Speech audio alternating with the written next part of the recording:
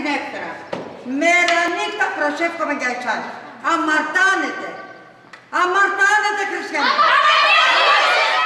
Είναι πασίγνωστο το έργο από το μόνιμο το κινηματογραφικό «Η νεράιδα και το παλικάρι». Οι βροντάκιδες και οι φουρτουνάκιδες. Εντάξει, το διασκεδάζουν πολύ, το χαίρονται και πιστεύουμε αυτή, τη, αυτή την εφορία να την περάσουν και στους ε, θεατές. Είναι κουβαλάς εκεί, μωρέ Μανολιό. Η θεατρική ομάδα του ΔΟΚΙΠ του Δήμου Χανίων που αποτελείται από μέλη των ΚΑΠΗ, ε, Σούδας, Παχιανών και Νέας ε, ε, Χώρας ε, διοργανώνει για τρίτη συνεχόμενη χρονιά ε, με τη στήριξη του σκηνοθέτη του κυρίου Δημήτρη Καλογεράκη ε, την ε, θεατρική παράσταση «Νεράιδα και το Παλικάρι».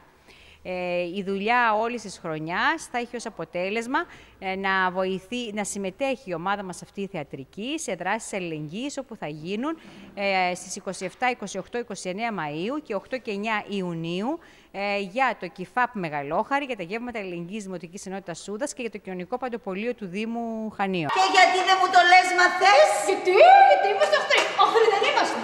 Και ίντα θα τα κάνεις εσύ μωρέ Μανολιό, μια ταμιτζάνα τσιπουδιά και μια ταμιτζάνα κρασί θα μεθύσεις. Ο αφέκι μου βροντάτσης, αραβανιές από το τολείο του Μανούσο. Αλλά δεν στο λέω.